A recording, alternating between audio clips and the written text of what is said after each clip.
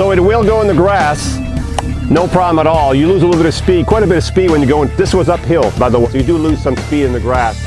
So I'm not saying it's a grass, but if you need to go to a golf course, you need to go somewhere where the grass is nice, it's no problem at all with this. This is crazy fast, 23 miles an hour, folks.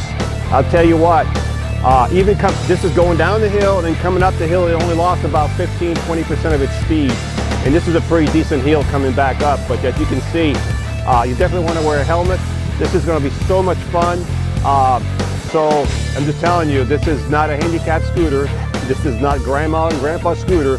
This is more of a leisure scooter. If you need to, if you need to get from A to B and you have a distance of less than 20 miles, uh, this will definitely do the job, folks. Hi, I'm Marc. And my name is Alex. We're co-owners of Marc's Mobility. I started this company in 1995. We sell many products, not just what you see in this video. If you have any questions or concerns, please call us at the number below at 800-677-6293. Thank you and have a wonderful day.